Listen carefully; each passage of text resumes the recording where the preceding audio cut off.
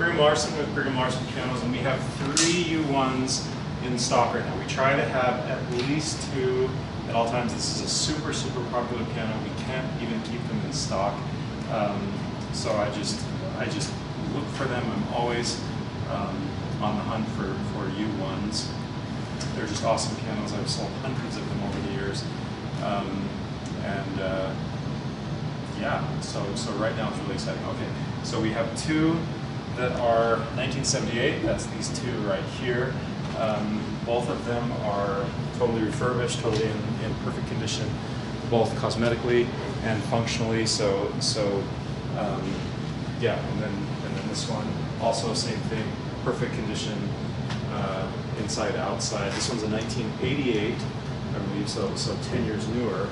But uh, in any case, functionally they're they're like they're like new. Um, the the U1, uh, I, I, would assume that if you're watching this video, you're, you're at least somewhat aware that the U1 is an extremely popular piano.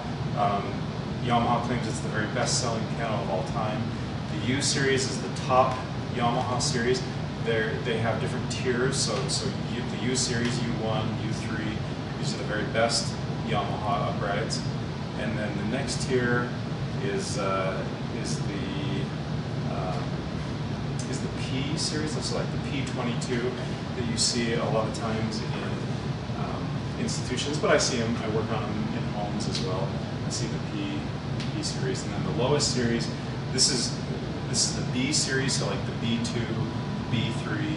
These are these are pianos that uh, where where they're compared to the U series, they're they're a significantly lower lower tier. They're they're not manufactured in Japan the way these are, lot of corners are cut. Essentially, what what Yamaha did was a very smart um, smart marketing move, is to capitalize on the on the success that the U series has had but as the price has gone up over the over the years and over the decades, um, they have alienated the lower priced market. Um, people can no longer afford them, so they've come out with a with a lower tier these lower tier pianos, um, and that's the B series. Which, uh, which I mean, still is, is good, but they're not great the way the way the U ones are. Okay, so 48 inches is what the what what the U1 is, which which I've long recommended to people. That's where a real piano, a real upright piano begins. Below that, it it's still a piano. I'd still prefer it to a digital piano, but it's not going to be um, what a uh, um, what 48 inch is. Of course, the bigger the better. Some, and I've, I've even heard it said, by the way, that uh, that 48 inches is even ideal. Some Personally, I say the bigger the better. So 50 inches, 52 inches, bring it on for me. But I have heard some people claim that 48 inches is the ideal, and that uh, and that 50 inches and 52 is too much. Um, I don't agree. I just say, bring it on. But but 48 inches is great. Okay, so let's let's hear them just in quick sequence. So it's,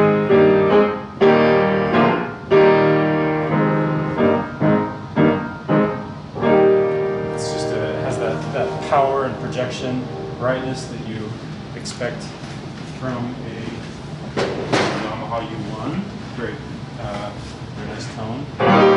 This one even more so, just really, really powerful and bright. I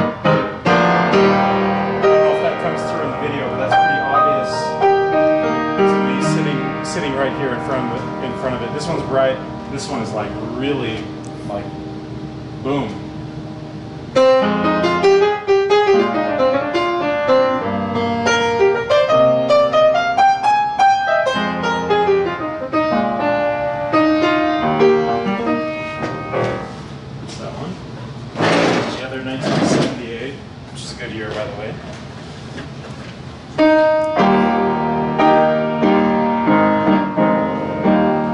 So this one, this one is uh, more middle of the road as far as uh, brightness.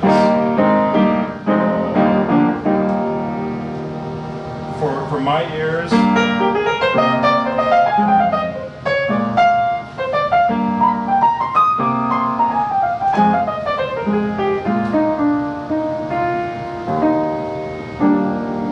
layers. This one's actually my favorite. Um, I just really like the warmth, and it and it still projects like uh, similar to, to these other two. But uh, this would be my pick. Um, but uh, that's just that's just personal taste. So uh, come in, check them out. We got three in all at once. That's like unheard of. And we can we can ship anywhere in the country. We have shipped all over to many many states. So that's it's actually surprisingly reasonable to ship like a 600 pound or whatever this weighs 600 pound object. It's um, surprisingly reasonable. Uh, but if you're local, the address here is 1497 South State Street in Orem. Thanks for watching.